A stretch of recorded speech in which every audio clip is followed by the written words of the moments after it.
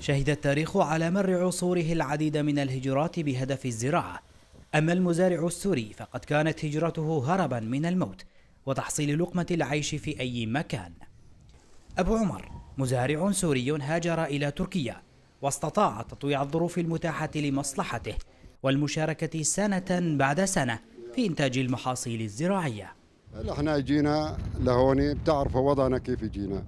سبة مهاجرين جينا وجينا لعند أخوتنا هنو الأتراك. أخوتنا وأهلنا وجينا لهون مزارعين لهنا أصلنا يعني مزارعين ببلادنا مزارعين. ما عندنا خبرة يعني غير بالزراعة. وقمنا بدأنا مثل ما عم يشتغلوا انه جماعتنا أخوتنا الأتراك بدأنا بالزراعة.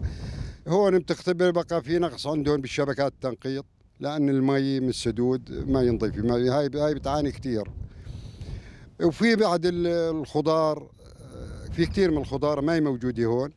اللي إحنا ما بنقدر بناها. جبنا بدار من أراضي السوري وبدأنا زراعتها والحمد لله على كل الأحوال ومتعايشين الحمد لله نحن واخوتنا الأتراك. تجولنا في العديد من القرى والبلدات التركية والتقينا بعدد من المزارعين السوريين هناك. كانت المزروعات متنوعة جدا إلا أنها تخصصت في كل بلدة على حدة. فاستطاع المزارع السوري إدخال محاصيل جديدة يحتاجها السوري أينما حل.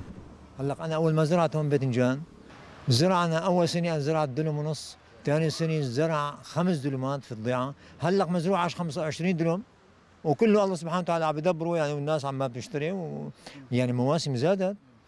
إيه والحمد لله رب العالمين يعني من فضل الله يعني في كثير زراعات لازم تنزرع. هلا في عندك كزبرة قلنا لك عيني زرعوا كزبره زرعوا حبة السودة حبة البركة. هون سبحان الله بيعرفوا هالقطن والفليفلي وغير هيك ما عنده شغلة. أتوا إلى هنا وعملوا في هذه الأراضي الزراعية بخبرتهم الواسعة وطرقهم المتعددة. أنتجوا أفضل المحاصيل الزراعية. إبراهيم الإسماعيل أورينت نيوز ولاية هاتاي جنوبية تركيا.